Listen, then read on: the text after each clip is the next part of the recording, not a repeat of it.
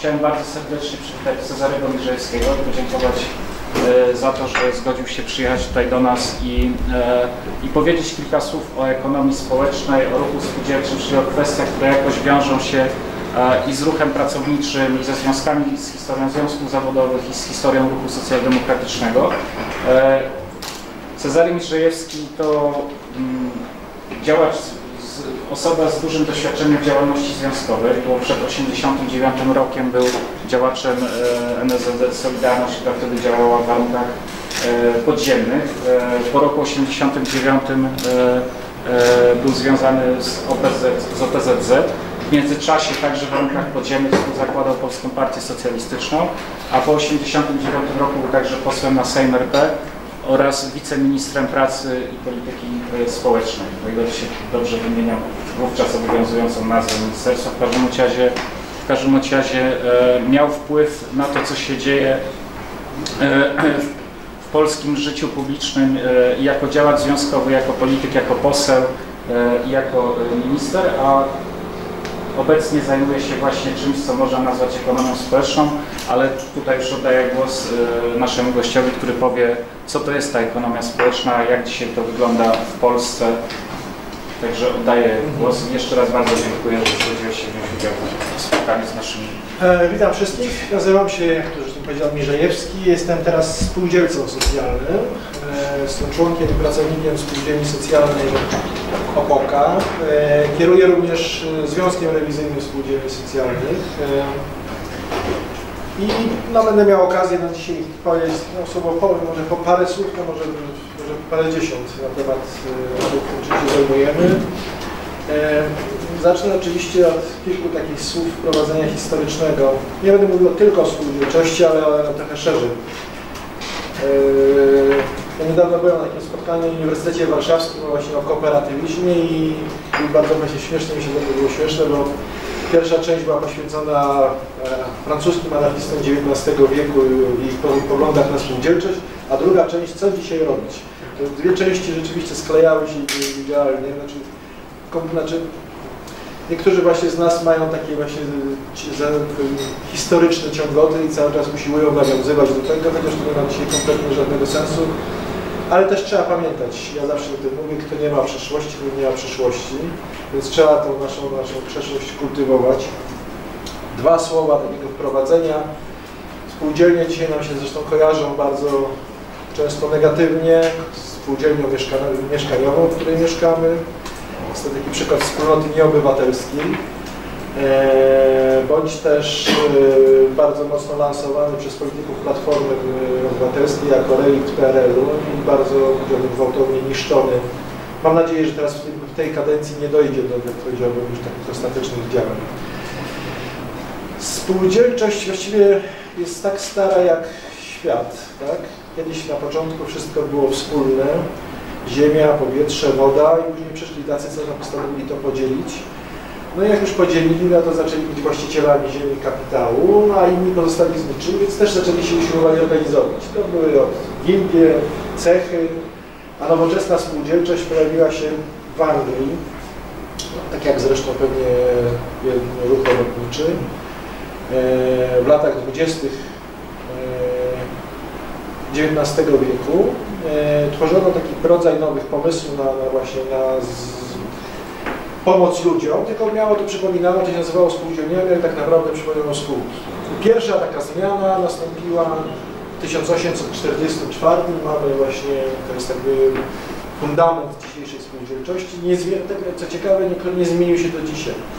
Fundament, y, grupa 28 ludzi, mówi się, że tkaczy, nie byli to sami tkacze, ale, ale sami, sami robotnicy, założyła spółdzielnię spożywców, taką nowoczesną, w dzisiejszym rozumieniu spółdzielnię spożywców. 21 grudnia 1844 roku o godzinie 20 został otwarty sklep, w którym sprzedawano mąkę, płatki owsiane, e, świece i cukier. Gazownia nie chciała doprowadzić tam gazu, czyli nie było oświetlenia gazowego, tylko palono świece.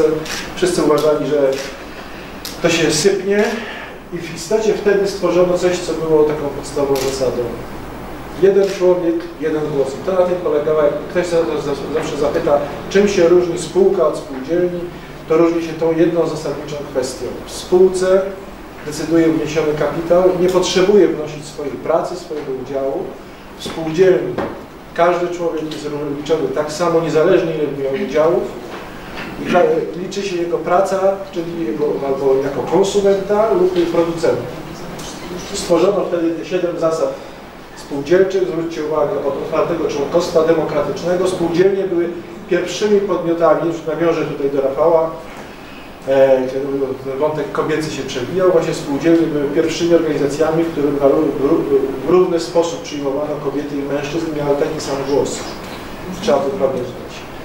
Demokratyczna kontrola, czyli jeden człowiek, jeden głos, e, równa jakby proporcjonalność udziału w zyskach, e, co ciekawe wówczas neutralność polityczna i religijna, czyli wyprowadzano, wyprowadzano działania z zewnątrz. To była taka, powiedziałbym, nowa, w ówczesnym czasie e, właściwie wśród proletariatu brytyjskiego były takie cztery, właśnie cztery pomysły na zmianę rzeczywistości. Pierwsza to walczmy o powszechne prawo wyborcze, bo jak przejmiemy państwo, to wtedy tak naprawdę coś z tego wyjdzie.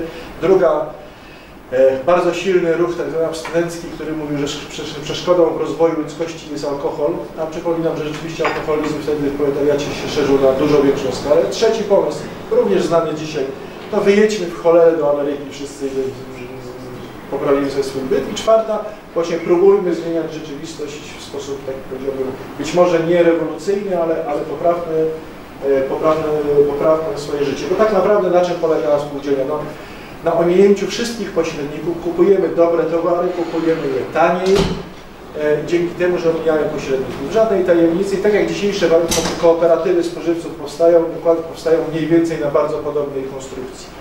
Skróćmy ten łańcuch między konsumentem a producentem do, do, do, do minimum i my sami pilnujemy jakości naszych towarów.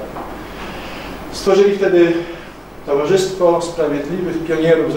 To jest właśnie ten, ten, ta pierwsza grupa, która w ciągu kilku następnych lat przekroczyła tysiąc osób. Później powstały hurtownie i od tych 28 ludzi zmieniły, zaczęła się zmieniać gospodarka światowa. E, bo zwróćcie uwagę na ostatnią jeszcze rzecz, kwestia promocji edukacji wówczas. Też uważano, że to nie chodzi tylko o biznes. To nie chodzi tylko o to, żeby kupować taniej, ale tworzymy pewną wspólnotę i edukacja jest jedną z takich najważniejszych rzeczy. I wtedy stworzono między innymi w Rożnej stworzono pierwszą bibliotekę. Pierwsi założyciele, e, e, pionierzy z Rożnej po założeniu spółdzielni po raz pierwszy uczestniczyli też w wyborach. Znaczy ludzie, którzy zaczęli działać, decydować o swoim losie to jest też coś, co się nie zmienia do dzisiaj.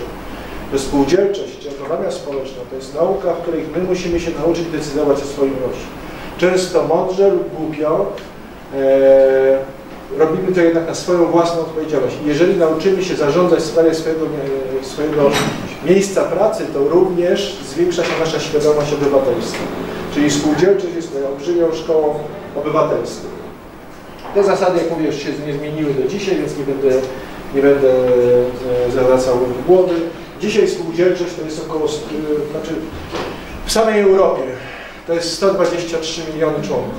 Tak? To jest 5 ponad, blisko 6 milionów zatrudnionych, 160 tysięcy przedsiębiorstw. I takich kilka przykładów.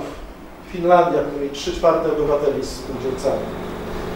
E, w Belgii e, jedna na 5 aptek jest spółdzielcza. We Francji 3,5% zatrudnienia, całego zatrudnienia to są, to są firmy spółdzielcze. 16 milionów bankowców, członków banków spółdzielców w bankach spółdzielczych w Niemczech. 50% sektora rolno-spożywczego jest we Włoszech, który jest w rękach spółdzielczych. I tak dalej, i tak dalej. Są takie przykładowe dane pokazujące, pokazujące naszą jakby wielkość tego ruchu. On trochę oczywiście ma inną, znaczy rozwijał się w innych warunkach niż to będziemy później mówić w Polsce. E, on się oczywiście rozwinął w bardzo różny sposób. E, mamy też dobre i złe przykłady. Mamy przecież olbrzymi bank, bank Credit Cooperative, który jest bankiem spółdzielczym, a jest tak naprawdę w czołówce dzisiaj banków komercyjnych. Więc niektóre, niektóre przedsiębiorstwa spółdzielcze doszły do takiego zatrudnienia, że mowa o demokracji jest tutaj pojęciem względnym. Ale jest na przykład taka spółdzielnia Mondragon, której pewnie, no może niektórzy, albo właściwie wszyscy powinni słyszeć. Eee, spółdzielnia, która kiedyś była uosobieniem rewolucyjnego ducha, zmiany rzeczywistości. W broszurkach w dawnych, dawnych czasach, kiedy byłem dużo młodszy, a Rafał Fedorów był młodym działaczem socjalistycznym, były takie czasy. Eee, były takie broszurki anarchistyczne właśnie o spółdzielni Mondragon, założonej w 56 w kraju Basków e, przez księdza Jose Marii Bezi Mendiarete, przepraszam, to nazwisko jest skomplikowane, który postanowił odbudowywać społeczność kraju Basków. Z tej spółdzielni Mondragon dzisiaj to jest blisko 100 tysięcy ludzi. To jest 110 spółdzielni, 120 spółek, to też jest ciekawe zjawisko, to jest siódme przedsiębiorstwo w Hiszpanii. W Hiszpanii to są spółdzielnie, na zewnątrz są spółki, między innymi w Polsce. We Wrocławiu Mastercook jest właśnie firmą z, z konsorcjum Mondragon. Na czym polega ten fenomen Mondragonu? Otóż tam jest, ta, tam jest tak, że jeżeli zostaniesz spółdzielcą, to masz dużo, powiedziałbym, dużą szansę, że będziesz w tej spółdzielni pracował do, końca, znaczy do swojej emerytury. Nie grozi Ci zwolnienie z pracy tak jak w innych e, firmach komercyjnych. Ale żeby stać się spółdzielcą w Mondragon, muszę przepracować. Później kolektyw, który pracuje, musi powiedzieć, że wyraża zgodę na przystąpienie do spółdzielni. A później wpłacam udział, który wynosi 15 tysięcy euro, który dostanę jak w postaci kredytu z banku spółdzielczego i który spłacam te 15 tysięcy oczywiście zyska przy przejściu na emeryturę. Ale proszę zwrócić uwagę, że jak, jak trudno jest się dostać e, do takiej spółdzielni. Otóż e, jeżeli, jeżeli bezrobocie wynosiło tam, powiedzmy w Hiszpanii tam w którymś momencie 20 parę procent, to właśnie w tych rejonach spółdzielczych wynosiło o połowę mniej ponieważ przede wszystkim chroniono spółdzielców. Jedna ze spółdzielni należąca do koncernu, która właśnie Mastercook, czy z tego produkcji, produkcji e, AGD, zaczęła połować. Najpierw pracownicy zdecydowali się obniżyć sobie pensję o 20%, później okazało się, że to nie wystarcza, w związku z tym wszystkie inne spółdzielnie konsorcjum wypłaciły 1% swojego dochodu na fundusz ratunkowy z tej, tejże spółdzielni żeby ratować tą spółdzielnię i nie zwalniać pracowników. A jeżeli się okazało, że trzeba kogoś zwolnić, to zostali oni zatrudnieni w innych spółdzielniach tego konsorcjum. To jest właśnie siła, siła tego typu rozwiązań. Więc to Mondragon z czasów, mojej młodości, jako właśnie tego ideału, tak naprawdę mimo tego, powiedziałbym, bardzo biznesowego dzisiaj rozwiązania, zachował swoje wartości. I takich, takich przykładów oczywiście można, można przedstawiać więcej, ale mówię, też trzeba mieć świadomość. Niektóre spółdzielnie stały się gigantami, a jeżeli coś ma kilkadziesiąt tysięcy, tak jak nasze spółdzielnie mieszkaniowe, to pojęcie demokracji jest tutaj, znaczy może się łatwo przeistoczyć. Nasze spółdzielnie mieszkaniowe niestety przeistoczyły się we własność zarządów czy też prezesów spółdzielni mieszkaniowych. Często tak bywa, nie mówię, że wszędzie, bo są też porządne spółdzielnie. No i oczywiście nasze tradycje, my, żeby było jasne, my nie jest srodze spod ogona nie wypadliśmy. Polska też ma swoje świetne tradycje spółdzielczości z różnych nurtów, bo spółdzielczość trzeba pamiętać, wywodzi się z, i z ruchu chrześcijańsko-demokratycznego, nawet liberalnego, e, ale też ruchu, ruchu właśnie lewicowego, e, chłopskiego. Dwa znaki, które są bardzo charakterystyczne. Społem, który dzisiaj jeszcze widzimy. Przypominam, Społem nadal jest największą siecią handlową w Polsce niż, niż sieci handlowe. E, sieci koncernów zagranicznych. Ale e, został rozbity. Społem Nazwa wymyślona przez Stefana Żerowskiego, początkowo jak nazwa pisma, stała się symbolem całego polskiego ruchu spożywców. I twórcy polskiego kooperatyzmu, Romuald Mielczarski, jak każdy porządny młody człowiek w ówczesnych czasach, spędził czas w więzieniu jako socjalista, a później stał się założycielem pierwszy, pierwszych kooperatów. Jan Wolski, e, który był twórcą spółdzielczości pracy nie wiem, czy wiecie, spółdzielnie pracy zostały zaadaptowane z Włoch. Właśnie Wolski jeżdżąc do, do Włoch y, przywiózł tam spółdzielnię pracy. No i Edward Abramowski, o którym y, można by długo mówić, który też stał się właśnie jednym z takich teoretyków polskiej, polskiej spółdzielczości. Trzeba pamiętać, że każdy kraj ma swoją oczywiście specyfikę i porównywanie europejskiej i polskiej spółdzielczości jest bardzo trudne, ma, ma swoje konteksty kulturowe. No, my mamy niestety okres PRL-u, mówię niestety w tym kontekście, w tym wymiarze, że w PRL-u zniszczono najważniejszą cechę spółdzielni, czyli samorządność. Stały się po prostu normalnym typem przedsiębiorstwa zarządzanym przez tam e, zarządy, właśnie te spółdzielnie mieszkaniowe są właśnie takim przedłużeniem tego myślenia. Demokratyczne zarządzanie odeszło, odeszło w niepamięć, w związku z tym e, wiele straciliśmy, ale Polska też wniosła bardzo wiele do światowej spółdzielczości. Otóż polska spółdzielczość inwalidzka była taką, powiedziałbym, takim e, e, nową na skalę europejską, niestety została wdeptana w ziemię w tej chwili tak naprawdę to gorywa. A propos tego kontekstu kulturowego, spójrzcie sobie, to jest rozkład spółdzielni w 2006 roku, tam dużego spółdzielni, gdzie się w Polsce rozmieszczane są, znaczy w 2006 roku jaki jest rozkład terytorialny spółdzielni. Zwróćcie uwagę, e, wielkie zmiany ludnościowe, prawda, z lewej, ze wschodu na zachód, z północy na południe odwrotnie.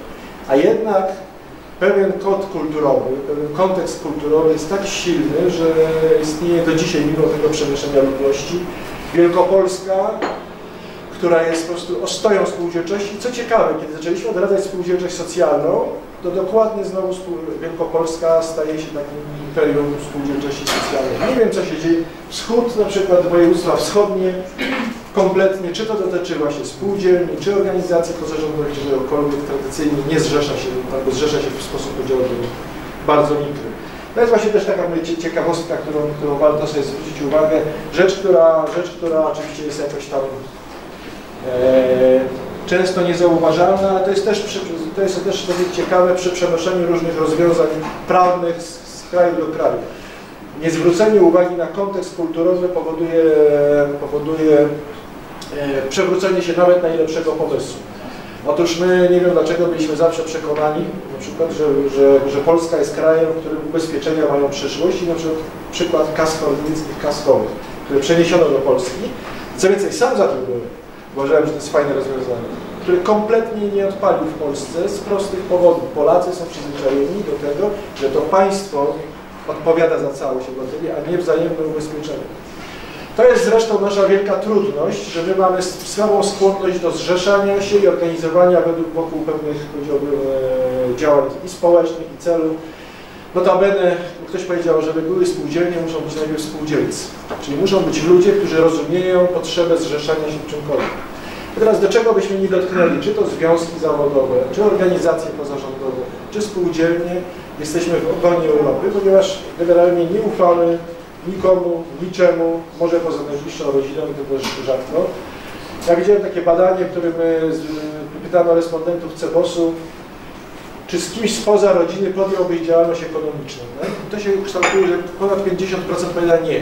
I te 50% nie od 10 lat jest dokładnie na tym samym poziomie, czyli w ogóle poziom zaufania kompletnie w Polsce nie, nie wzrasta. W społecznym jest bardzo, czyli jest większy, wyższy procent y, chęci współpracy, ale też nie jest to jest najwyższy. Y, więc to też jest jakby podstawowa przeszkoda, że my jesteśmy, y, jakbym miał zarzucać coś PRL-owi, to właśnie też ten wątek właśnie poduczenia samoorganizacji. Jest ktoś, kto za nas to załatwi, tylko że nie ma dzisiaj państwa, wszechobecnego państwa. Państwo, jak wiecie, istnieje tylko w teorii, jak mówią klasycy. E, a my nie umiemy się kompletnie organizować. Czy ekonomicznie, czy społecznie. Według wyliczeń Krajowej Rady jest 17 tysięcy spółdzielni, ale, ale w istocie około 9 tysięcy działa. 8 milionów członków, 400 tysięcy pracowników, ale żebyśmy mieli świadomość, większość z nich to, to są dwa bloki. To jest y, spółdzielczość mieszkaniowa i to są banki spółdzielcze. To jest coś, co, co jest silny. No, mamy trzeci segment, jest ostatnio mało popularny, nazywa się spółdzielcze kasy oszczędnościowo-kredytowe, tak? który ma teraz bardzo złą prasę. Pozostała spółdzielczość jest dużo mniejsza, chociaż trzeba bardzo powiedzieć, trzeba pamiętać o tym, że my często lekceważymy sobie myślimy na przykład spółdzielnie mleczarskie. Otóż nie wiem, czy wiecie, ale należą teraz do najbardziej ekspansywnych w Polsce i co więcej, również, również w Europie. E, spółdzielnie grupy, rolnicze grupy producenckie, które też są jakby takim rodzajem spółdzielni rolników, też bardzo kolejny ekspansywny rejon.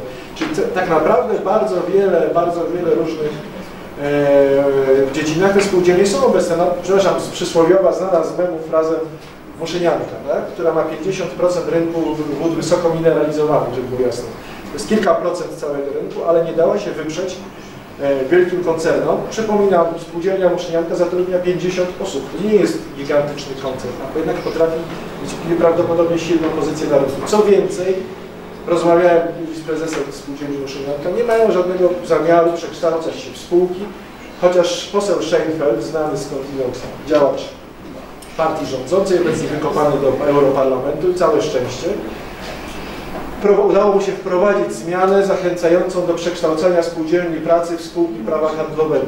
Pierwszym efektem tego działania, zresztą było to rozwiązanie wylobbowane przez spółdzielnię pracy dziennikarzy polityka, która załatwiła sobie tym samym, jak można przejąć majątek, który był przyznawany wówczas spółdzielnią pracy dziennikarzy, przejąć na firmę, na, na spółkę, tam już nie wiem, oni mają komandytową, akcyjną, czy jakąś tam podobnie, nie E, na szczęście jakby okazało się, że nie, nie ma takiej fali spółdzielni, które by się jakby chciały przekształcać w spółki, no bo wszystkim się tłumaczy, że spółka jest lepsza od spółdzielni. No więc pytanie, a czym, przepraszam? To jest po prostu inna forma zarządzania i gospodarowania, nie ma żadnej innej różnicy z punktu widzenia czysto ekonomicznego. Eee, no to już za dużo tego jest. Spółdzielnie, które dają zatrudnienie jest dosyć ważne. Tych spółdzielni jest około 60 tysięcy osób zatrudniają, to jest, tam jest w tej chwili 648 spółdzielni pracy, 224 spółdzielni niewidomych. Zwróćcie uwagę, 88 w spółdzielniach niewidomych, niepełnosprawnych zatrudnionych było 253 tysiące osób. Teraz zeszło do kilkunastu tysięcy. Jest tendencja, że te spółdzielnie prawdopodobnie znikną z powierzchni ziemi. PRL oczywiście miały jeden ważny walor, ponieważ rozporządzeniem jednego z ministrów po prostu był katalog zalet, y, rzeczy, które były wyłącznie przynależne spółdzielniom inwalidów. Ale były też jedynym no, rozwiązaniem, znaczy miały swoje defekty polegające na tym, że traktowano niepełnosprawnego jako osobę z niepełnosprawnością jako osobę, która się nadaje tylko do prostych prac, niemniej jednak dawały pracę, jak widzicie, ćwierć miliona ludzi, tak? którzy, którzy mieli swój dochód. E no i tyle można by powiedzieć o tej spółdzielczości naszej krajowej. No, czyli tak naprawdę jest takim e, lotem koszącym zmierza ku ziemi. Trochę też na własne życzenie. E, Krajowa Rada Spółdzielcza, no niestety mam wrażenie, zakonserwowała się w latach 60. Takie już mam takie podejrzenie. E, nie zawsze, nie zawsze rozumie potrzebę pójścia ekspansywnego szukania przestrzeni. Co więcej, w poprzedniej kadencji załatwiono, żeby powołany został pełnomocnik rządu do spraw spółdzielczości, powstał specjalny zespół międzyresortowy e, i oczywiście skończyło się na niczym. Niestety nasi działacze z Krajowej Rady Spółdzielczej głównie mówią o historii i ważnych tradycjach, natomiast nie umieją znaleźć pomysłów i rozwiązań, które nie są trudne, pokazują, że jest wiele przykładów europejskich, jak, jak unowocześnić przepisy o spółdzielczości. Zwróćcie uwagę, to jest jedna z niewielu ustaw, która ma piąte podejście piątej, pięć kadencji pod rząd, cztery czy pięć, po kolei zgłaszany jest projekt nowego prawa spółdzielczego i za każdym razem zostaje on gdzieś utrącony pod koniec, pod koniec kadencji. Teraz też są, tam już pięć projektów właśnie specjalna komisja nadzwyczajna, tylko, że niestety część tych projektów jest, jest, jest przygotowana przez Platformę, która postanowiła zlikwidować spółdzielczość, spółdzielczość mieszkaniową w całości w Polsce. A my jeszcze żyjemy w kraju, w którym czy dobrze, czy źle, jeden, co trzeci mieszkaniec mieszka w mieszkaniu spółdzielczym. To jest, jest potężny potencjał. Ale spółdzielczość mieszkaniowa niestety też jakoś specjalnie znaczy trwa na posterunku, usiłując bronić się przed zmianami, co też nie jest, nie dobrze, bo tak naprawdę, no mówmy się, te liczne przykłady medialne, które, które znamy w Polsce, e, no nie, nie, nie przysparzają sojuszyków. My natomiast zaczęliśmy pracować nad czymś, co się nazywa e, spółdzielczością socjalną. E, od początku 2000 roku, my, czyli jakaś tam grupa ludzi dobrej woli, e, ludzi, którzy szukali rozwiązań trochę przywracających myśl jeszcze pierwszego zjazdu Solidarności o samorządnej Rzeczpospolitej, o przedsiębiorstwach społecznych, że może istnieć pewna forma gospodarowania, która potrafi która buduje zupełnie inną wartość, w którym istnieje coś, co nazywam solidarnością zamiast wyzysku, w której ludzie pracują, są jednocześnie udziałowcami, są małą grupą i sami oni ustalają, co chcą robić, jak chcą robić, jakie mają, jakie stosują, jak sobie płacą. Są to, tworzą sobie miejsce pracy. Miejsce pracy dla ludzi, których często nikt inny by nie zatrudnił. I po trzecie, tworzą miejsce pracy, które jednocześnie uczy właśnie tego demokratycznego podejścia. Jak mówiłem, często jest tak, że zresztą to widać, bo tam, gdzie się rozwinęła ekonomia społeczna, mamy naprawdę twarde dane pokazujące, że tam zupełnie inaczej liczba e, obywatele zupełnie inaczej podchodzą do, do wyborów, do referendów. E, miałem taki przykład w Bałtowie, gdzie właśnie w sprawie jakiegoś wodociągu poszło do referendum 80% obywateli. Było to efektem bardzo takich działań organizacji pozarządowych, z przedsiębiorstw społecznych, które, które to rozwijały. E, teraz mamy tych spółdzielni socjalnych, to jest oczywiście, nie chcę tu opowiadać całej historii, bo to jest mniej więcej od 2003 roku się przepychamy w lewo, w prawo, dwa kroki do przodu, jeden krok do tyłu i tak cały czas, się, cały czas to idzie. W 2010 udało nam się poprawić, bo oczywiście wszyscy, właśnie rzeczony poseł, poseł, Scheinfeld, o którym tu wspomniałem, który oskarżył nas, że teraz wszyscy przedsiębiorcy przekształcą się w spółdzielnie socjalne, żeby osiągać jakieś nieprawdopodobne profity. Była to oczywiście kompletna bzdura, ale spowodowało, że przy pisaniu ustawy w 2006 roku zaostrzano wszystkie przepisy, to, znaczy, to jest jakaś bardzo, bardzo charakterystyczna, charakterystyczna maniera naszych ustawodawców, wynikająca z braku zaufania, że traktujemy odbiorców ustawy jak złodziei. Czyli na pewno musimy tak skonstruować przepis, żeby ktoś czegoś nie ukradł. Klasyczny przykład to jest prawo zamówień publicznych. To jest po prostu tak zrobiona ustawa, że po prostu, bo, bo wszyscy kradną. Oczywiście ominięcie ustawy prawo zamówień publicznych jest banalnie proste, jeżeli ktoś chce to przekręcić, natomiast wpadają na tym najczęściej ludzie, którzy, e, którzy no właśnie, popełnią jakiś drobny błąd.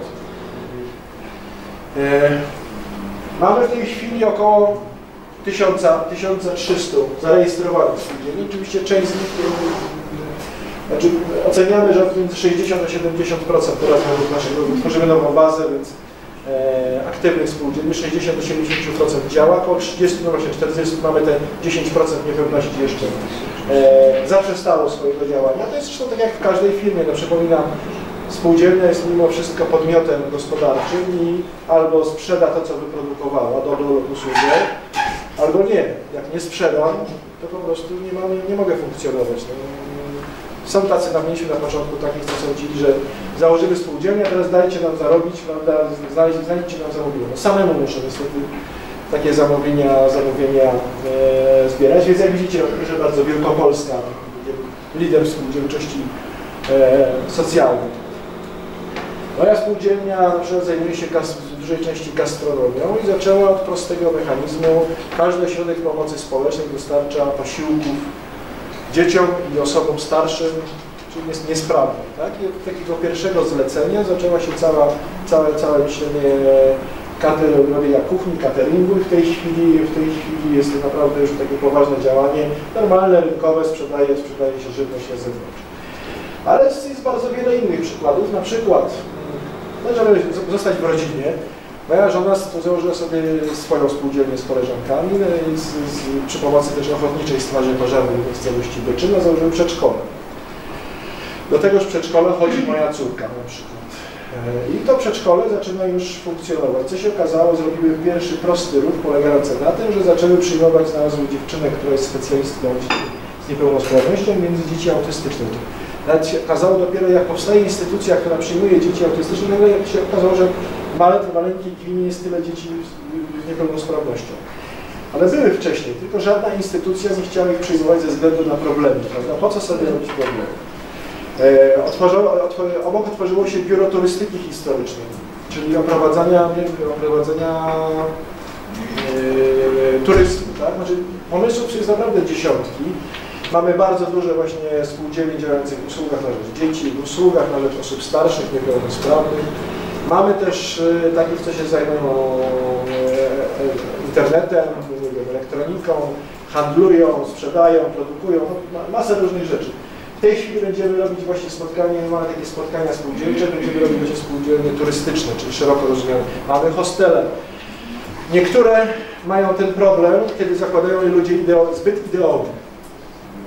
Tak jak mieliśmy do czynienia z hostelem Emma w Warszawie, czyli ludzie zbyt ideowi, którzy zbyt, powiedziałbym, doktrynalnie podchodzą do swoich e, e, poglądów w biznesie, okazuje się, że to jest pewną przeszkodą, co każdy siłę siłowo rozstrzygnąć rozwiązanie. Skończyło się, że Emma się podzieliła na dwie spółdzielnie, bo tak się skłócili, że nie byli w stanie ze sobą.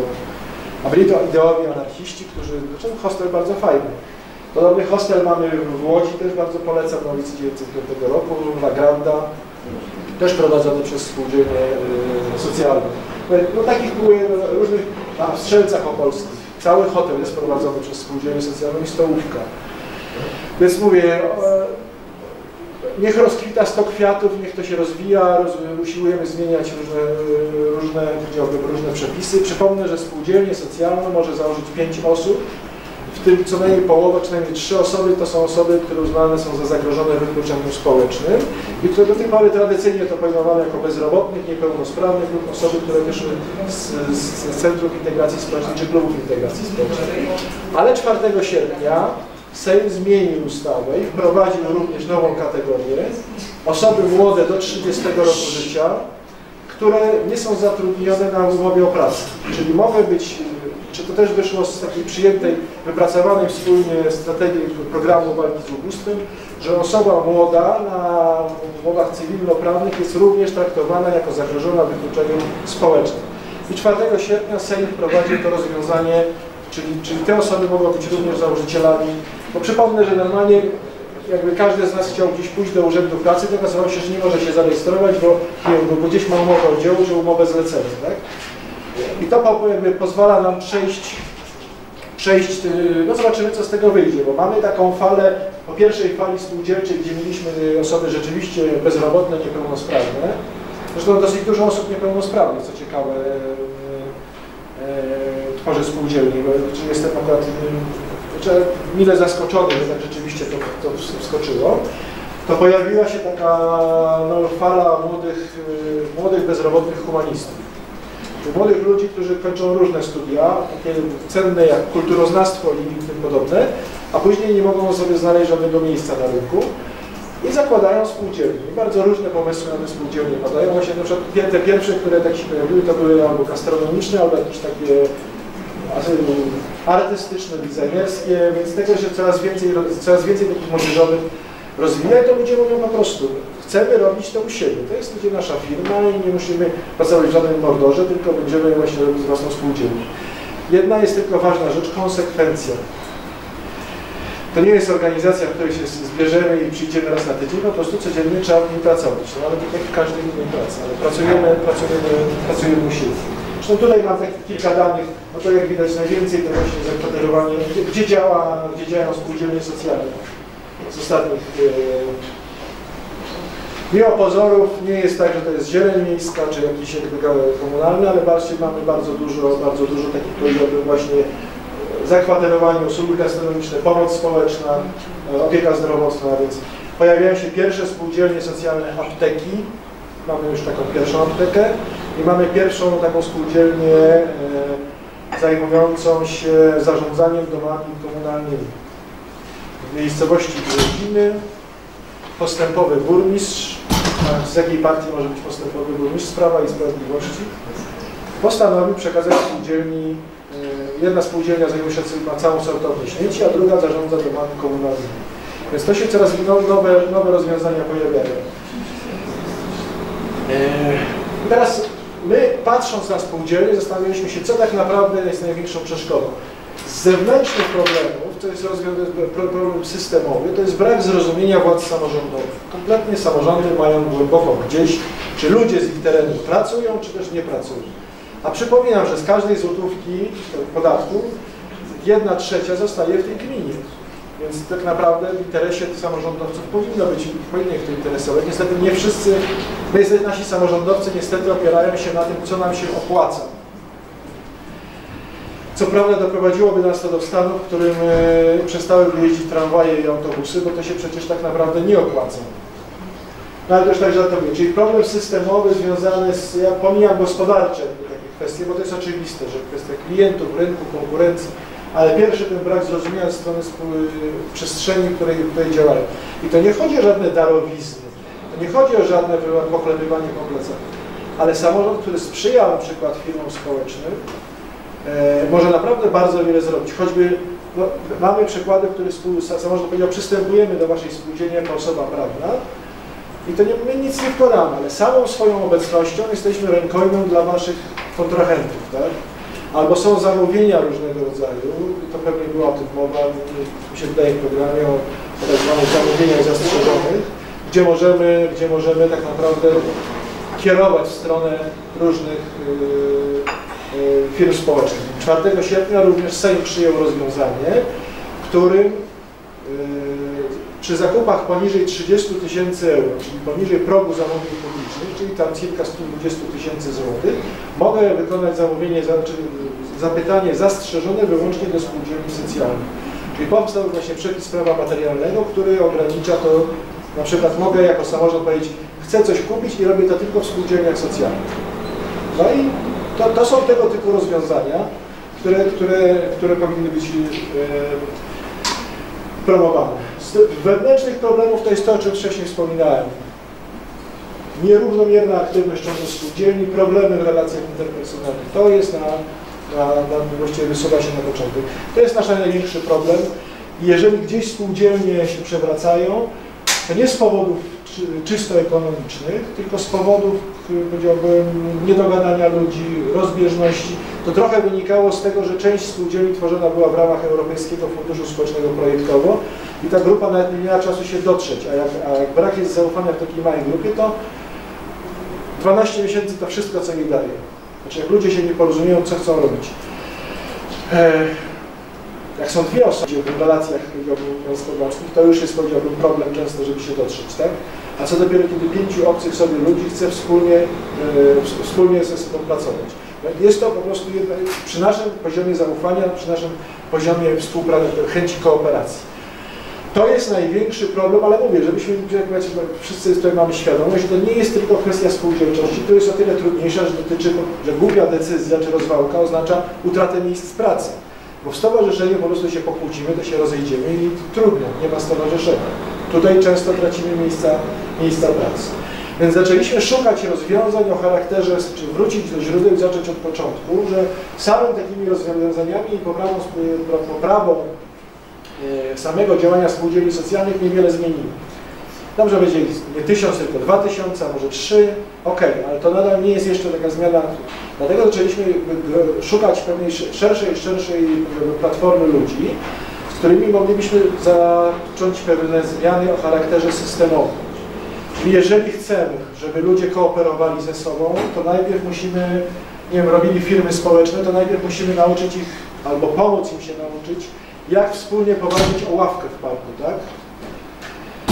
E, jak wyciągnąć ich z tego, powiedziałem, nieaktywności, jak, jak, jak wzmocnić, znaczy, bo działalność ekonomiczna jest takim wierzchołkiem góry lodowej, na którym są płaszczyzny coraz szersze, w którym ludzie po prostu chcą razem ze sobą coś zrobić, robić i zmieniać świat. Po drugie, jeżeli chcemy coś zrobić systemowo, to musimy zacząć też myśleć o edukowaniu. To, co się na przykład, jak widzieliście portale po czasie strajku górników, poziom powiedziałbym, nienawiści, hejterstwa, który tam się pojawił, jest po prostu nieprawdopodobny. Czy ludzi, młodych ludzi, którzy e, nie dlatego, że uważali, że wiem, za dużo ktoś zarabia, tylko po prostu, bo ja mam gorzej, bo, bo w mojej obronie to nikt nie walczył, albo my nie mamy organizacji, to wy też powinniście zostać zniszczeni. Już nie mówiąc o takich zwolennikach, wielkiej gromadzie zwolenników, nie wiem, kolinizmów różnej maści, tak? Ludzi, których się wydaje, że jak pracodawca nie zapłaciłby składek ZUS i podatku, to dałby mu dwa razy więcej zarobić. Oczywiście to jest, to, możemy to obśmiać i tak dalej, ale to, znaczy, to też są, to jest pokłosie, pokłosie braku edukacji. Kto nas w szkołach uczył, na czym polega samorządność naszych społecznościowych organów? czego się nauczy na wiedzę o społeczeństwie, jak jest większość kwalifikacji, jak się uchwala ustawy, jakie kompetencje ma prezydent, prawda? Znaczy rzeczy, które, to okej, okay, jakieś tam być może są ważne, ale najważniejsze jest to, czego uczą w wielu szkołach, czy w wielu szkołach europejskich, po prostu, że zaczynamy od społeczności lokalnej, że ja tu mieszkam w tej przestrzeni, tak? I tu są różne organizacje, różne podmioty, że możemy się spotkać z innymi ludźmi. Od tego musimy zacząć, że możemy właśnie współpracować na rzecz, czy, czy jako samorządowcy, czy jako, nie wiem, działacze pozarządowi. To jest coś, co, co można odwalczyć. W wielu europejskich szkołach uczy się grupowego czy kooperatywnego rozwiązywania problemów, nauki grupowej nie wyścigu indywidualnego, tylko po prostu zespołowej pracy. Są rzeczy, które są, wydaje się, oczywiste. To wszystko, co ciekawe, udało nam się wpisać właśnie w różne rodzaje programy, dwa programy rządowe, e, bo doszło do takiej sytuacji dziwacznej, w której grupa ludzi, społeczników różnej maści zaoferowało rządowi, że przygotuje dwa programy. Jeden program walki z ubóstwem, drugi program rozwoju ekonomii społecznej które były wymagane przez Komisję Europejską jak zwykle warunek ex ante. No i administracja rządowa to przyjęła i te rozwiązania zostały, zostały wprowadzone. Ja opowiem o jednym właśnie o tym programie, programie e, rozwoju ekonomii społecznej, bo on właśnie chce pokazać pewną systemową perspektywę i próbować zmieniać świat e, w sposób, powiedziałbym, taki powiedziałbym, uporządkowany. Nadzieja jest taka, że nikt za tym programem nie jest, ani nikt nie jest przeciw, więc może się uda. Znaczy mówię na poziomie rządu. Przyjęto to, po prostu Rada Ministrów to przyjęła dokładnie rok temu, 12 sierpnia 2014 roku. I teraz znowu te grupy, powiedziałbym, aktywistów usiłują poprzez różnego rodzaju, wymyśliliśmy, że całym procesem zarządza Komitet Krajowy Ekonomii Społecznej, w połowie składający się z przedstawicieli władzy publicznej, w połowie z przedstawicieli różnych organizacji. No i tak naprawdę to jest oczywiście taki, powiedziałbym, też szerszy kontekst myślenia o, o, o no już nie będę tego, tego rozwijał. E, my trochę, my trochę się oparliśmy na różnego rodzaju takich dyskusji europejskich. Bo w dyskusji europejskiej właśnie pojawił się nurt, że ekonomia społeczna ważną jest jako pewien działanie związane z procesami globalistycznymi. Otóż jeżeli w tym e, coraz większy coraz większą rolę zaczyna odgrywać społeczność lokalna. Tylko w Polsce społeczność lokalna jest bardzo zdezorganizowana. O części politycznej mówił, mówił, mówił Rafał, tak? że tak naprawdę tworzy się już taka oligarchiczno-prezydencka formacja, w której obywatele już w ogóle nie uczestniczą, bo, bo system rad w ogóle już nie działa. Co z tego, że wybierzemy radę, jak ona nie ma nic do powiedzenia. Ale jest jeszcze drugi element wzmocnienia społeczności lokalnej w wymiarze ekonomicznym. Otóż nie jest tak, że przyjedzie tutaj fabryka Jaguara my będziemy całować po, rękach, żeby przyjechali do nas, a nie na Słowację. I tak pojadą na Słowację, zdaje się koniec końców. Tylko też większość rzeczy musimy odbudować naszą, naszą gospodarkę w wymiarze lokalnym. I to są właśnie firmy lokalne, firmy społeczne, między innymi realizujące, realizujące różne usługi użyteczności publicznej. Każdy samorząd ma obowiązek realizować usługi użyteczności publicznej, czyli e, usługi, które powinny być jakby, które są, do których jest obowiązane w ogóle, czy jego istnienie jest uwarunkowane. Od zaczynając administracyjnych poprzez infrastrukturalne na społecznych kończąc. To jest po prostu obowiązek konstytucyjny samorządu. Teraz te usługi możą realizować różne podmioty, a mogą, najczęściej dzisiaj się outsourcuje, a w outsourcingu stosuje się kryterium ceny, w związku z tym e, przeważnie nasze, nasze działania na rzecz naszej gminy robi jakaś firma z innego końca kraju za najniższą cenę, czyli przyda, dostajemy badziubie, a w dodatku nic z naszej gminy nie ma z tej, oprócz zadowolonego skarbnika. Tylko ale w wymiarze krótkookresowym, bo jak dziebie później szybko ulegnie zniszczeniu, i tak musimy dołożyć.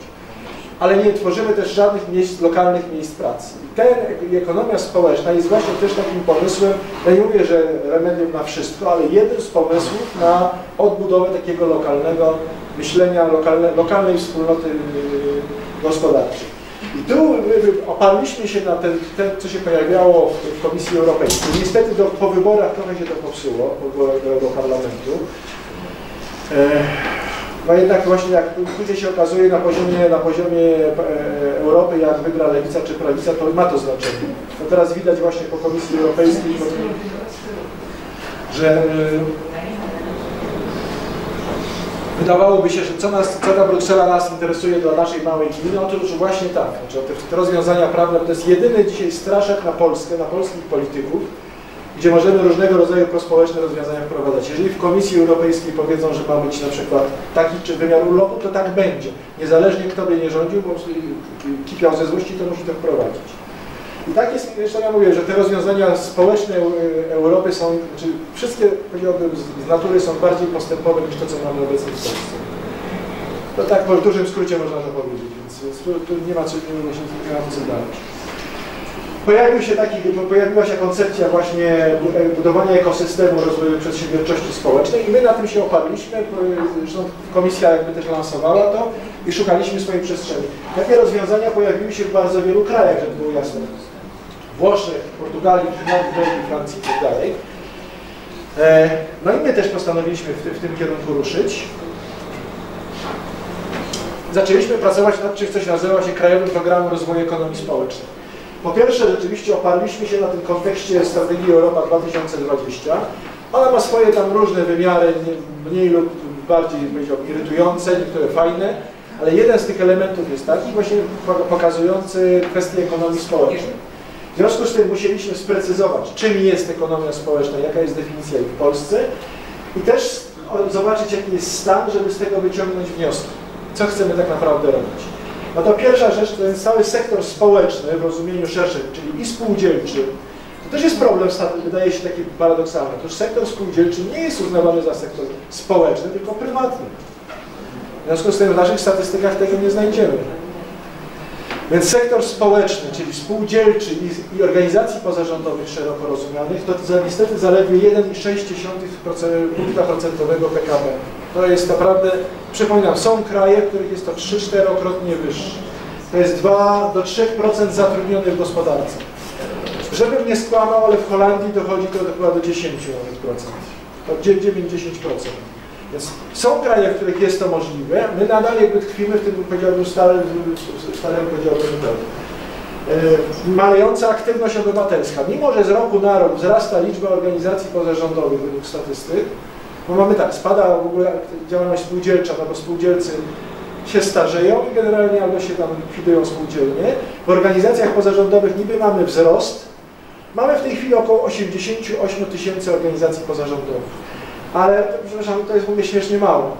Jakbyśmy tak odliczyli straże pożarne, e, ko koła łowieckie i takich parę branżowych organizacji, kościelne i tak dalej, to zostaje nam około 20 tysięcy organizacji, takich powiedziałbym, a, kluby sportowe, no bo to wiadomo, że też jest, znaczy nie, nie, nie deprecjonując tych organizacji, tylko mówię, takich, które nie są czysto tak powiedziałbym branżowe. Otóż mamy tendencję w tej chwili taką, że wzrasta liczba organizacji tam o 1000-2000 co roku, ale spada aktywność, członkostwo w organizacjach. W ciągu czterech ostatnich lat spadła aktywność o milion osób. Bo też zwróćcie uwagę, organizacje stają się teraz elementem czas, często jakby przerabiania pieniędzy, w związku z tym co najłatwiej założyć? Stowarzyszenie czy fundację? Fundację. No więc w fundacji jak jest członkostwo? Nie ma, nie ma członkostwa. Wystarczy jedna osoba, żeby założyć fundację a w stowarzyszeniu wymagamy przynajmniej 15 osób, które w związku z tym wzrasta liczba i tak naprawdę pojawia się coraz więcej fundacji. Przypominam, jedna trzecia polskich fundacji znajduje się w miasteczku Warszawa, e, a w szczególności Wilanów, zresztą dzisiaj omawiamy. Też notabene, ja powiem szczerze, sam się zastanawiałem, czy fundacja w ogóle powinna być, nie przemawiając tu obecnej fundacji, która organizuje, e, czy fundacja jest w ogóle organizacją obywatelską ale to już jest tam szersza dyskusja. Czyli mówimy tak, maleje aktywność obywatelska, nikt nie chce się otworzyć na potencjał spółdzielczy, tak naprawdę flekuje się tę spółdzielczość cały czas oczerniając, mówiąc, że to jest relikt, trzeba to zlikwidować. Mamy duże rozwarstwienie w organizacjach społecznych, otóż nie wiem, czy wiecie, ale czy to jest dosyć charakterystyczne, że tak jak powiedziałbym w świecie ludzi, tak w świecie instytucjonalnym nastąpiła oligarchizacja. Czyli mamy proletariat, który nikogo nie zatrudnia, ma małe obroty i mamy wąską grupę podium tych, którzy zarabiają, którzy mają y, kilkumilionowe obroty jako, jako, jako organizacje. Zatrudniają ludzi, głównie żyją z różnego rodzaju funduszy projektowych, co nie jest samym w sobie, samo w sobie złe, tylko mówię, że ta, ta, ta zrobiło się takie zamknięte podium. Pomysł, który na przykład Polacy będą przeznaczać swój 1%, a dokładnie do, doprowadził do tej samej sytuacji. Pojawiło się wąskie podium, które zgarnia 2 trzecie pieniędzy i cały proletariat, który dostaje po kilka tysięcy z tego 1%. Tak? Czyli tak naprawdę ten mechanizm w ogóle nie odpalił jako szersze, szersze zjawisko społeczne. I plątają się tam takie społeczne organizacje jak Fundacja TVN Nie Jesteś Sam, Polsat Słoneczko i inne powiedziałbym, e, które jeszcze w dodatku są na tyle bezczelne, że podają, że nie wydały nic na reklamę. No pewnie, że nie wydali nic na reklamę, bo wszystko mają w swojej telewizji za darmo. Więc tego nie liczę. E,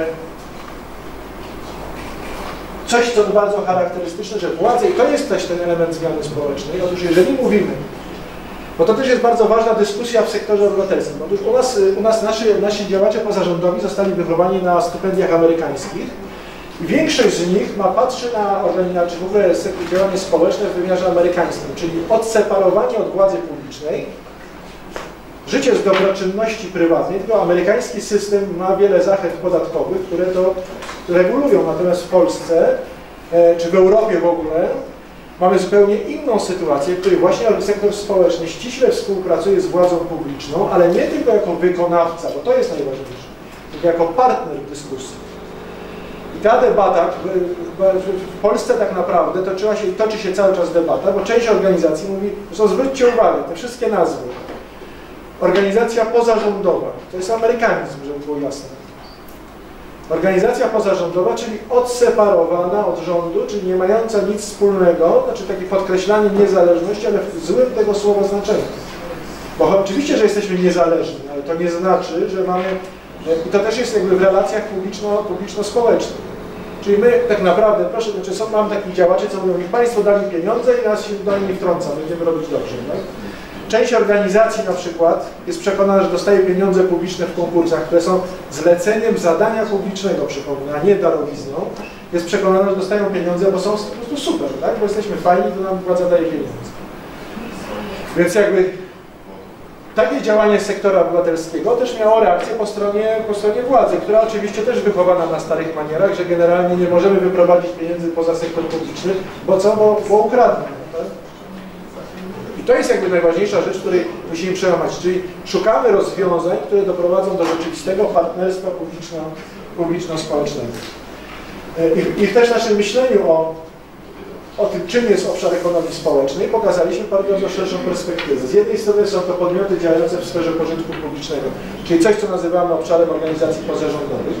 Żeby było jasne, ten sektor zatrudnia ponad 123 tysiące osób. To nie jest małe Spółdzielnie zatrudniają około 265 tysięcy, no jak w tym, w tym takim prozatrudnieniowym wymiarze, to jest około 60 tysięcy.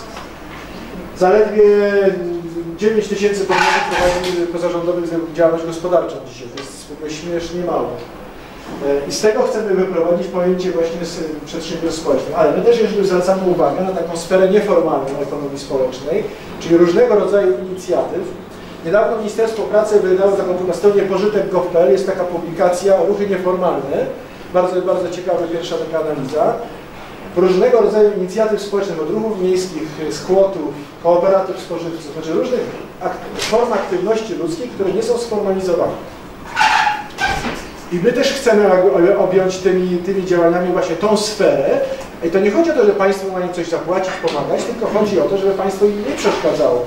Na przykład mieliśmy taką sytuację, w której była czy kooperatywa spożywców, przypominam, ciało nieformalne, grupa nieformalna i już zaczął się kręcić Urząd Skarbowy, czy aby nie objąć tego VAT-em, bo w końcu dochodzi do jakiegoś obrotu. Tak? Czasami polityka państwa polega na tym, nie chrzaniać się. Też jest pytanie, czy pomagać.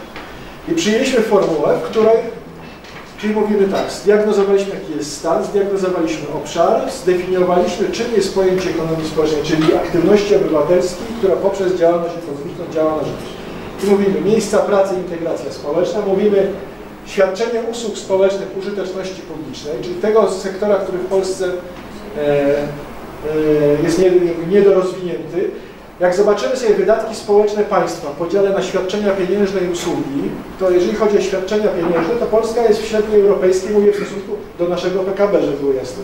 Nie do PKB Niemiec, tak? Ale jak spojrzymy na usługi, to jesteśmy, y, powiedziałbym, na szarym końcu. Jest taki właśnie usługi zdrowotne i, i społeczne, jest taki, taki diagram. I te zdrowotne, czy społeczne z trudem można tam odróżnić jako taką malutką czerwoną kropeczkę, ponieważ mamy tak słabo rozwinięty system usługowy.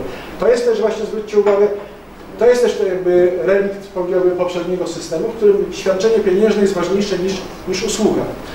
W związku z tym w przypadku na przykład protestów rodziców dzieci niepełnosprawnych była walka nie o to, żeby załatwić usługi wytchnieniowe, pomoc, wsparcie i tak tylko nie wiem, 150 zł więcej. Tak jakby to rozwiązywało problem, a nie rozwiązuje to żadnego problemu. I teraz właśnie te usługi ktoś musi realizować. Więc albo będzie to robił komercyjnie przedsiębiorca za jak najtaniej. W przypadku usług opiekuńczych właśnie doszło w Polsce do takiej degrengolady kompletnej, której cena spowodowała, że ludzie, że, że ludzie robią, znaczy dostają mniej pieniędzy niż bezrobotni na pracach społecznie użytecznych. Wszyscy doskonale wiedzą, że łamane jest prawo, bo ze znanej stawki no nie da się zapłacić ubezpieczenia, ani najniższej z tego. Wszyscy to przyjmują. Łącznie ostatnio widziałem przetarg dla Urzędu Skarbowego, który po prostu znaczy, trzeba być naprawdę imbecylem, żeby nie wiedzieć, że, że, że nie da się zapłacić z tego żadnej, żadnego ubezpieczenia. Czyli sam Urząd Skarbowy, który później przyjdzie dziś na kontrolę, zgadza się na łamanie, na powszechne łamanie prawa. I ten rozwój społeczności lokalnej. Myśmy to, myśmy to znaczy pokazaliśmy takich trzech, takich trzech jakby trzy, trzy impulsy. Żeby w ogóle coś się zadziało, potrzebne są trzy rzeczy. Pierwsze to nazywamy impulsem politycznym, czyli trzeba zmienić prawo, pewne regulacje finansowe, ale przede wszystkim kulturę organizacyjną. To jest najważniejsza rzecz, której w Polsce brakuje, znaczy zmiany kultury organizacyjnej i funkcjonowania instytucji publicznych, otwartej na partycypację. Dzisiaj jak mówię, że chcę coś przekonsultować, to każdy jest obrażony, tak? W ogóle komu, że ja przeszkadzam. Ale z drugiej strony oczywiście, to jest impuls społeczny, niektórzy mówią, bardzo proszę, to jest dokument do konsultacji, a tu nikogo nie ma. Nikt nie przychodzi, bo uważa to, że bez sensu, a po co, a i tak nie uwzględniał. Więc teraz też musimy jakby zwiększyć, przynajmniej spróbować, bo mówię, co z tego, że to jest też właśnie takie przekonanie niektórych e, młodych polityków, bo tak nazwę, że jak zmienimy przepis, to się zadziała. No nieprawda, nie zadzieje się. Jeżeli nie ma kogoś, kto odpowie na tę zmianę przepisu. Tak jakbyśmy powiedzieli, wprowadzamy spółdzielnie socjalne. Jak się nie znajdą ludzie, którzy to chcą robić, to mogę dawać dwa razy więcej pieniędzy i trzy razy. Jak, się, jak ktoś nie będzie chciał, to tego nie zrobię. Więc musimy znaleźć, spróbować zadziałać tak, czyli znaleźć też rozwiązania i zachęty, które spowodują, że ludziom będzie chciało się chcieć. No, choćby od ułatwiania organizowania się. Dlaczego w małych organizacjach musi być skomplikowana y, rachunkowość? To nie może być prosto? No, okazuje się, że może, a dopiero kiedy Unia wprowadziła dyrektywę, no to wtedy nasze Ministerstwo Finansów ustąpiło. Czy stowarzyszeniem trzeba zakładać 15 osób? A jak jest mała miejscowość? Miejscowości Byczyna, w której przemieszkuję, jest 3, jest 3000 miejscowość. No, znalezienie tam 15 osób aktywnych jest, nie jest łatwe. No to może 7, tak? E, czy możemy robić na przykład, czy stowarzyszenie zwykłe, trzyosobowe, nie może dostawać jakichś drobnych pieniędzy, że chce zrobić coś na okoliczność właśnie tej przysłowiowej ławki w parku? No może, tak, tylko że musimy tylko przepisy zmienić. Tu byliśmy już bardzo blisko, był projekt notabene prezydenta Komorowskiego w parlamencie. Niestety projekt został, a prezydenta nie ma, więc nie wiemy, czy teraz się zgodzą jakby, czy to, zmiana ustawy prawa o stowarzyszeniach, czy będzie pociągnięta. No i trzeci impuls przedsiębiorczy dotyczący właśnie tych działań ekonomicznych, bo tak naprawdę e, no, jeżeli też nie uprościmy pewnych rzeczy, jeżeli nie, nie też nie, nie, nie, dokonamy pewnych zmian, to tu wiele, wiele nie zdziałamy. I myśmy to zrobili w czterech takich odsłonach. Czyli po pierwsze, to jest moje ciekawe, Rada Ministrów to przyjęła, ale mówię, żebyście mieli świadomość, to jest dokument czysto społeczny. Po pierwsze odpowiedzialna wspólnota, my teraz mamy społecznie odpowiedzialne terytorium. Nie ma pierwszego, drugiego, trzeciego sektora. Wszyscy jesteśmy obywatelami wspólnoty samorządowej i wszyscy możemy działać na rzecz dobra wspólnego. Znaliście to słowo kiedyś? Albo ktoś je zastosował? Dobro wspólne. Ono istnieje. Ono istnieje, tylko my po prostu przestaliśmy to zauważać. Po drugie otoczenie. Jak stworzyć infrastrukturę, która, tutaj mówimy, chcemy przynajmniej w tym okresie siedmioletnim stworzyć 35 tysięcy nowych, trwałych miejsc pracy wprowadzenie ekonomii społecznej do polityki, znaczy żeby to nie była jakiś powiedziałbym zoo, czy tam powiedziałbym rezerwat, tylko normalna część działalności. No, w turystyce my nie będziemy robić biur podróży olbrzymich czy hoteli, ale naprawdę w turystyce jest tyle przestrzeni dla małych firmek społecznych, które mogą znaleźć swoje miejsce w każdej dziedzinie działalności. I czwarte to jest kompetencje, czyli to, jak mówił Lenin, się, uczyć się. Jeżeli nie wychowamy młodzieży, to nie trzeba tych szkolić urzędników, to trzeba zacząć się pracować z młodzieżą. Właśnie spółdzielnia Panato z Wrocławia właśnie pracuje, robi, robi, takie zajęcia, w których uczy po prostu prostych rzeczy, no, że, to są, że można coś razem, że, może, że można założyć organizację. Każdy z nas wychodzi ze szkoły z różnymi umiejętnościami, no, mniejszymi lub większymi, ale jak na przykład pierwsza rzecz, jak zrobić demokratyczne spotkanie? No, co to jest większość? Tak? Jak głosować? Zaręczam wam, że nikt tego nie wie. Jutro będziemy mieli zajęcia ze spółdzielnią Panato z Wrocławia.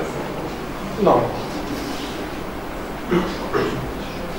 To są właśnie rzeczy, to są właśnie rzeczy, o których że tylko też nie, nie może polegać na jednej, oni robią super fajny projekt, tylko mówimy, to trzeba po prostu zmienić całościowo. No i w tym rozpisaliśmy szereg różnych rzeczy, które, które składają się na tą całość. No więc właśnie, przepisy dotyczące partycypacyjnego planowania w samorządach, czyli obowiązkowych konsultacji i uzgodnień. Uzgodnienia.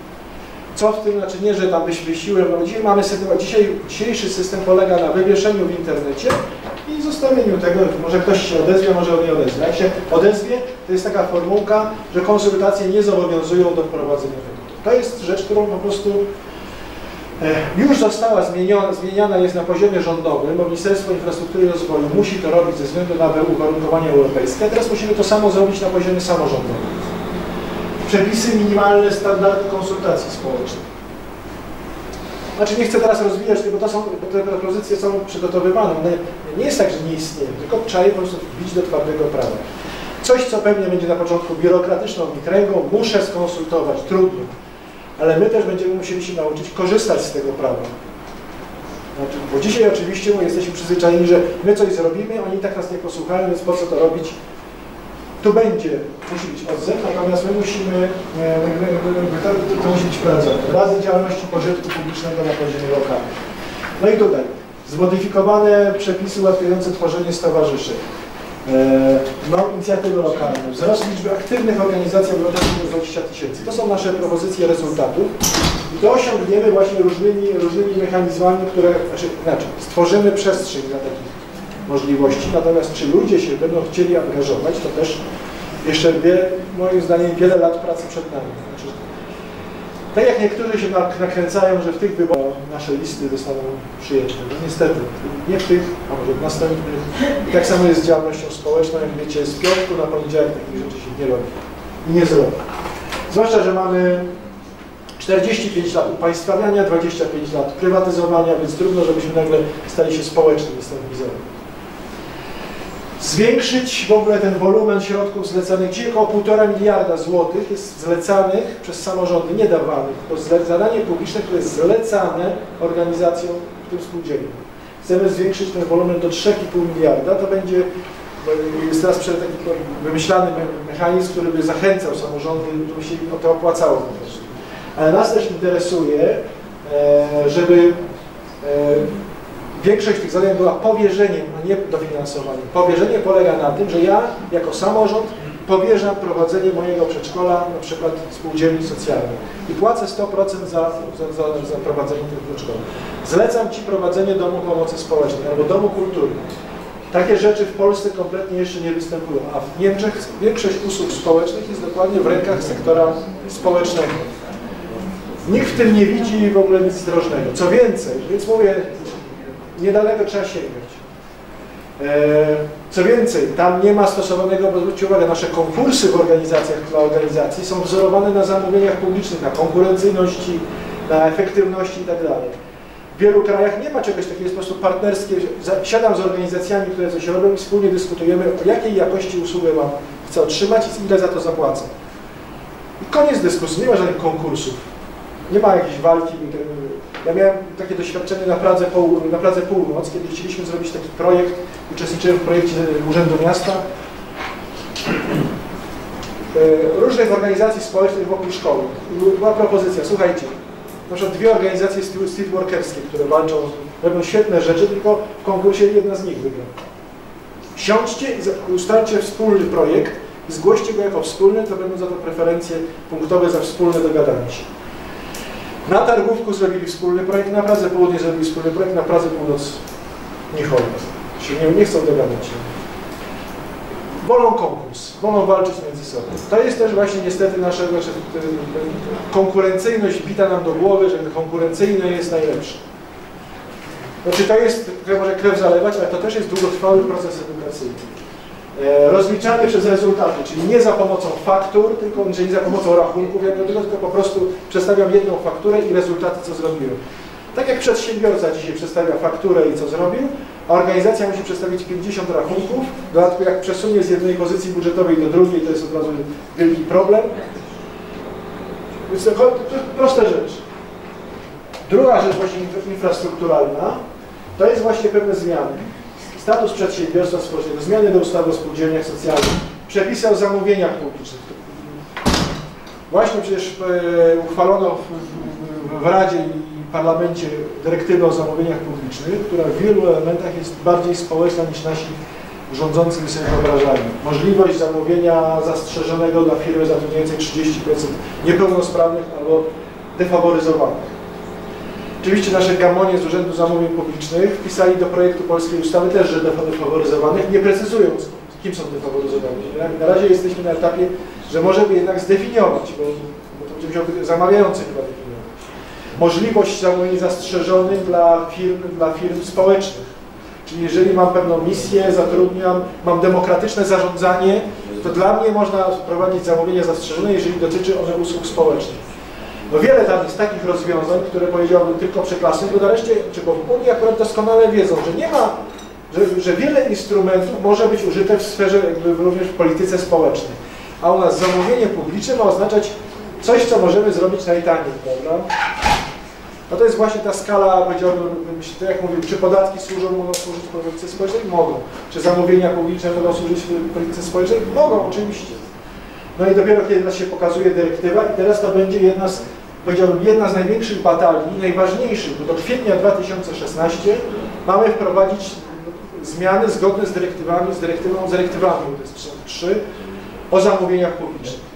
Na razie, mówię, na razie Urząd Zamówień się zabetonował, po prostu de facto przepisując dyrektywę bez głębszej refleksji. Wprowadzono specjalny tryb dla usług społecznych, który by oznaczał w istocie, że mogę na przykład robić wyższy próg w tym rozumieniu, że mogę na przykład część usług robić poniżej progu nie 30 tysięcy, tylko 50 tysięcy euro, co by znakomicie ułatwiło szereg działań. Tego się akurat jeszcze nie rozumie. E, Dotacje na tworzenie administracji, to mamy załatwione ze środków unijnych. Mamy pożyczki, które, instrumenty pożyczkowe. Jak wiecie, ani organizacjom pozarządowym, ani firmom społecznym żaden bank pieniędzy nie pożyczył, nie pożyczy, nie będzie pożyczał. Bo żeby komuś coś bank nam pożyczył, to musielibyśmy mieć coś w zastaw. A nasze firmy są, czy organizacje najczęściej są usługowe. No nie ma właściwie organizacji, która posiada jakąś nieruchomość, majątek, który można zastawić, żeby bank z nami rozmawiał. Więc powstają specjalne fundusze pożyczkowo-poręczeniowe właśnie ze środków unijnych. Jesteśmy tutaj. No i też profilujemy, jakiego rodzaju miejsca pracy nas interesują. Zielone miejsca pracy, od ekologii poprzez usługi leśne, melioracje, usługi e, związane z oświadczeniem polityki społecznej i ta trzecia jakby bardziej profilowana młodszych i starszych do 30 roku życia i powyżej 50. I teraz to, co 4 sierpnia Sejm przyjął, czyli można, że takie osoby mogą być współzałożycielami, jak uznawanym za zagrożonym wykluczeniem społecznym. Czyli nas nie interesuje tylko, żeby powstawały firmy, ale, ale bardzo konkretnie określone. Jeżeli chcemy myśleć o takiej polityce rodzinnej, jaką ma Francja, to też musi istnieć szereg podmiotów, które takie usługi są, e, realizują. Znaczy, w wielu miejscach w Polsce się okazuje, że chętnie byśmy tutaj zrobili terapię dla dzieci, tylko nie ma żadnego terapeuty w promieniu 50 km albo żadnej firmy, która by się tym zajmuje.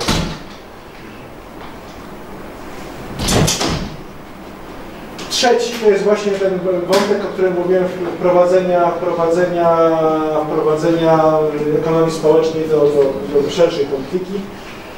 Między innymi e, Izby Przedsiębiorców Społecznych, takich gremiów, e, no to mówię, tego, tego nie będę rozwijał. I trzecia rzecz, którą jakby ostatnia, e, edukacji. Otóż pierwsza to jest rzeczywiście w ogóle upowszechnienie idei w kontekście i historycznym, kulturowym, przypomnienie, że tak jak mówiłem wcześniej, że sroce spodobiona nie wypowiliśmy, że jesteśmy naprawdę, polskie tradycje, polskich tradycji mogłyby wiele krajów pozazdrościć, ale musimy też stworzyć, żeby to było modne. E, żeby po prostu było no, traktowane z, z przyjaźnią. Tak? To jest miło, zwróćcie uwagę, że nastawienie społeczne często decyduje, warunkuje później podejście do danej rodziny. Na przykład rozmawiałem wczoraj z dyrektorem Departamentu Pomocy Społecznej i tak mówię, słuchaj, gdzie pomoc społeczna jest najbardziej widoczna w mediach? Jak zabrali dziecko, albo go dzie- dziecka nie zabrali, tak? Tylko w kontekście negatywnego, już mówiąc szczerze, albo że pomoc społeczna zabiera dzieci z powodu ubóstwa. Słyszeliście to pewnie w mediach, tak? Co jest oczywiście kompletną bzdurą, żeby było jasne. Ale medialnie jest to tak e, zrobione. Jak mówimy, już nie powiem, że słowo lewica jest po prostu tak niemodne teraz i tak obciachowe, że czy ktoś się przyzna, że jest lewicowy? Nie. Teraz, są, teraz modne są liberalne. Ja mówię o znaczy trochę... No zresztą zrozumienie, zwróćcie uwagę, tak, że przejrzyjcie sobie portale jak tego, tak naprawdę nie lewicowość, nie, czy lewicowość nie jest w ogóle takim bunkrem, żeby się jestem taki fajny, bo jestem lewicowy. To samo musimy uczynić z ekonomią społeczną, czyli wbicie do głównego dys, do głównej dyskusji, próbować. To jest szereg różnych, to jest szereg, właśnie nawet z Rafałem o tym rozmawialiśmy na przerwie, o tym, o tym właśnie postrzeganiu różnych, znaczy, że, że pewne, że, że strasznie ciężko nam się przebić w ogóle poprzez złe postrzeganie, albo brak pozytywnego postrzegania. E, Wejście w spółdzielnie uczniowskie. Te spółdzielnie uczniowskie to też jest grupa, grupy nieformalnej, takich spółdzielni około tysiąca funkcjonuje w Polsce, tylko nikt ich kompletnie prawie nie wspiera, nie, nie promuje, a też jest uznawane, ach, tam spółdzielnia uczniowska PRL. Przypomnę, że pierwsza spółdzielnia uczniowska na te- terenach Polski powstała w 1901 roku. Mikrogranty dla młodzieży. Na przykład w,